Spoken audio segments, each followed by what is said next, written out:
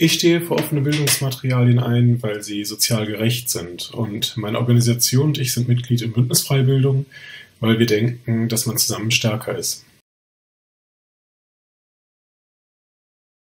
Ich denke, die Gesellschaft profitiert davon, dass wir unsere Bildungsmaterialien offen zur Verfügung stellen.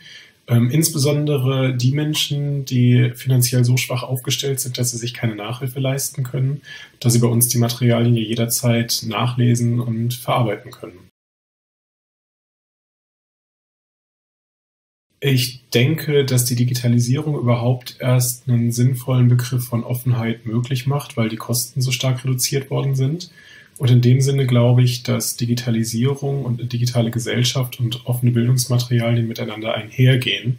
Ähm, genau genommen würde ich sogar sagen, dass eine funktionierende digitale Gesellschaft offene Bildungsmaterialien bedingt. Von der Bundesregierung würde ich mir wünschen, dass sie endlich ein Gesetz erlässt, was Open by Default ist.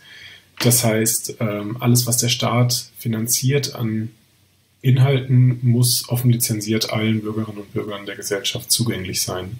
Ein solches Gesetz wäre schnell formuliert, würde nichts kosten und sehr viel Wert schöpfen.